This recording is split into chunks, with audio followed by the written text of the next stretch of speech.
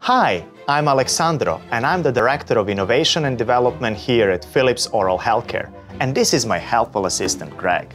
Today, we'd like to show you a product from Philips called the Sonicare Air Floss. It is a device used to easily clean in between teeth. How, you ask? It uses our unique air and microdroplet technology. Let me show you. Here, we have a plate of baby powder.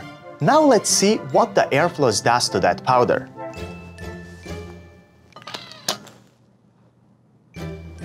You know what? Why don't we just watch this short clip to see what it does to your plaque in your mouth?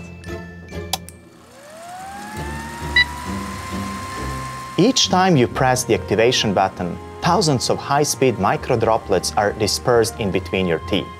The pressure and combination of air and water helps remove significantly more plaque in interproximal spaces.